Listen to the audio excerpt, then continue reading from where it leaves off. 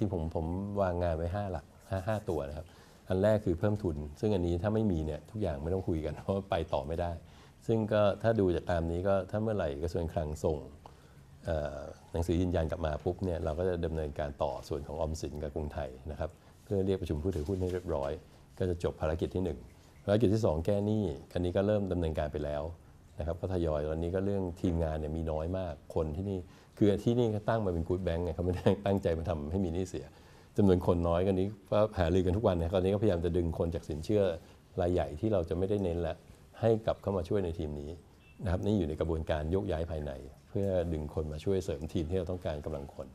นะครับการแก้หนี้ก็ดำเนินต่อเนื่องนะครับมีทั้งที่ปรึกษามีทั้งผู้มีความรู้ในวงการเลยท่านก็ให้คำแนะนำมาเยอะ ก็มีผู้หลักผู้ใหญ่รู้จักคนนู้นคนนี้ก็ช่วยๆกันคุยกันมานะครับอันที่ 3 แก้ไขกระบวนการสินเชื่อ ก็ตั้งแต่ผมเข้ามาก็แก้เลยนะครับวันนี้ผมว่าผมถือว่า 90%แล้วเรามีของที่ปรึกษาภายนอกที่เป็น Big 4เออสัญญานะครับเขาก็ไปทำทำโครงการปรับปรุงกระบวนการเพื่อให้เราตอบสนองสินเชื่อได้เร็วขึ้น ในเรื่องรายใหญ่รายกลางรายเล็กเนี่ยผมไปเจอลูกค้าที่หัดใหญ่เขาบอกขอมาปีนึงแล้วคุณธานินยังไม่ได้เลย ก็สงสารเขานะ แล้วเขาก็ลงตังค์ตัวเองสร้างไว้แล้ว เราก็เออเห็นใจตอนนี้ก็เข้ามาละหมอเราเดี๋ยวให้รีบดูให้ มันจะมีอย่างเงี้ยคือกระบวนการเดิม SLA ไม่ชัดเจนว่าต้องเสร็จภายในกี่วันต้องตอบลูกค้าคือให้ไม่ให้ก็บอกเขาไปเขาจะไปหาที่อื่นนะครับเออบางทีเราก็ไปดึงเขาจนมันเกิดข้อสงสัยได้ว่าเอ๊ะมันจะเรียกอะไรหรือเปล่านะครับตอนนี้ผมก็ปรับกระบวนการนี้ละมี time stamp มีเช็ค มีหน่วยตรวจสอบมีอะไรให้มันเรียบร้อย จะได้โปร่งใสนะครับเพราะธนาคารนี้ทางคนอิสลามก็ถือว่าเเป็นธนาคารคุณธรรมคำว่าอามานะแปลว่าคุณธรรมอยู่แล้วเพราะ ฉะนั้นการทำธุรกรรมเนี่ยมันต้องโปร่งใสแล้วก็เป็นธรรมทุกฝ่าย คือไม่ไม่ควรจะมีเรื่องผิดศีลธรรมอะไรที่ไม่ดีนะครับ ซึ่งอันนี้ผมผมก็รับจากทางบอร์ดชัยอะมา ก็พยายามจะดำเนินการให้เป็นไปตามวัตถุประสงค์นะครับนั้นสามเรื่องครับแก้อันแรกเพิ่มทุนครับ อันที่สองแก้หนี้เสีย อันที่สามปรับกระบวนการสินเชื่อให้โปร่งใสแล้วก็มีประสิทธิภาพ อันที่ 4 ก็คงปรับปรุงเรื่องกระบวนการทำงานภายในของแบงก์ ในเรื่องต่างๆ ซึ่งก็มีประเด็นอยู่หลาย ๆ ประเด็นที่อาจจะที่ผ่านมาอาจจะไม่ไม่อาจจะละเลยยังไม่ได้ทำให้เป็นเรื่องเป็นราวเนี่ยก็จะใช้เวลาไปโฟกัสตรงนั้น ตอนนี้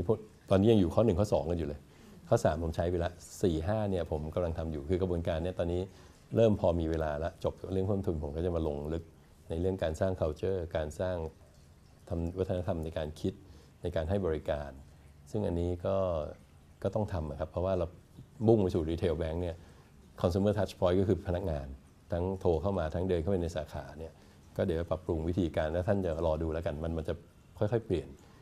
แนวคิดก็คือจะมีสาขาต้นแบบนะครับหรือมีสาขาที่เป็นคนมุสลิมทั้งสาขาครับแล้วผมก็คิดสาขาต้นแบบสาขา flagship store ต่างๆเนี่ยเพื่อเพื่อให้คนเข้ามาแล้วสัมผัสอย่างเงี้ยคือเราขอเปลี่ยนทีเดียวร้อยหนึ่งไม่ไหวแล้วปีนี้อาจจะทำสักหนึ่งหรือสองแห่งก่อน แล้วใช้เป็น training ground สำหรับ พนักงานสาขาที่วอร์ n นเทียที่จะเข้าโปรแกรมปีหน้ามาฝึก จะได้รู้ว่าความคาดหวังและสิ่งที่ลูกค้าตอบรับเนี่ยที่ดีคืออะไรต้องมาอยู่เลย มาทำด้วยตัวเองแล้วกลับไปจะได้ไปทำได้ คือเขียนเป็นไบเบิลไป train ยังไงมันก็ไม่ใช่ฉะนั้นวิธีคือมาสัมผัสมาทำนะครับมันจะได้ดี ซึ่งกะกะจะทำสักหนึ่งหรือสองสาขาปีนี้นะครับเพราะเวลามันเหลือแค่ครึ่งปีนะครับพอทำได้ต้นแบบได้ถูกใจแล้วให้เซอร์เวยให้พนักงานให้ลูกค้ามาดูแล้วชอบ ก็จะตั้งเป็นมาตรฐานไว้ แล้วก็ปีหน้าอาจจะได้สัก 10 20 สาขา เราก็จะคัดเลือกแต่เราให้พนักงานบริเทียนะครับ คือใครอยากได้ต้องยกมือ แล้วต้องมาสอบแข่งกันว่าใครจะได้ทำก่อน คือต้องมาจากแพชชั่นเขาไปบังคับไม่ได้ของนี้ ถ้าเขาอยากทำเนี่ยเขามาเนี่ยมันดี แล้วพอใครได้เราก็จะ reward นะครับต่อไปคนจะขึ้นใหญ่ได้ต้องผ่านสาขาที่เป็น top ต้อง run เหมือนกับคนต้องไปเป็นตำแหน่งอธิบดีนี้ก่อนเลยอะไรเงี้ยถึงจะขึ้นเป็นประหลัดได้ประมาณนั้น เราก็จะมีตัวยากตัวที่โอ้โหคนเยอะมาก ลูกค้า demanding มาก คุณยัง handle ได้ผ่านมาด้วยดี แปลว่าคุณเก่งนั้นคุณขยับต่อได้นะครับมันมันก็จะเป็นระบบใหม่ที่ขึ้นมาแต่กะว่าไม่เกิน 5 ปีเนี่ยร้อยเปอร์เซ็นต์ของสาขาจะเป็นเหมือนต้นแบบหมด จะเป็นบริการที่ดีเหมือนทันสมัยเหมือนที่แบงก์พาณิชย์ทั่วไปเขาทำกัน แต่ขอเวลานิดหนึ่งเพราะว่าคนที่เรารับเข้ามาเมื่อช่วง 4 5 ปีที่ผ่านมามันก็หลากหลายมาก วัฒนธรรมก็ไม่เท่ากัน ตอนนี้ก็มานั่งลงใหม่จูนใหม่นะครับอันนั้นเป็นภารกิจที่ 4 ภารกิจสุดท้ายก็อีกอันหนึ่งก็ทำควบคู่อันที่ 4 ก็คือว่า เนื่องจาก AEC เนี่ยประเทศ 600 ล้านคน เป็นมุสลิมเกิน 300 นะครับ น่าสนใจ พอดีผมอยู่การท่าไปสังเกตมาผมว่าเอ้ยอันนี้เป็น opportunity นี่ทำไมมองว่าแบงก์อิสลามด้อยกว่าคนอื่น เป็นแบงก์เล็กเป็นอะไร มองแง่หนึ่งเฮ้ยมีมุสลิมใน AEC ครึ่งหนึ่งนะแล้วคุณเป็น license เดียวในประเทศไทยที่ทำธุรกรรมอิสลามได้เพราะฉะนั้นถ้า turn กลับมา opportunity เนี่ยผมก็มองกลับไปว่า เฮ้ถ้าอย่างนั้นเนี่ยการใช้ชื่อ iBank เองเนี่ยซึ่งจริงมี feedback จากคนมุสลิมเยอะว่า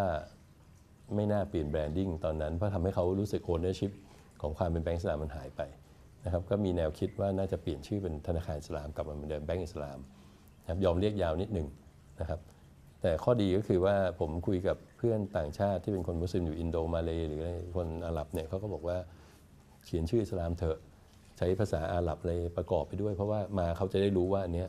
เวลาเขามากด ATM เขาก็อยากกดตู้ที่มันเป็นชริอะคือมันถูกตามกฎเขาเงินที่ได้เขาจะรู้สึกว่าเป็นเงินที่ไม่ไม่ผิดไม่ผิดหลักศาสนาเขามั่นใจ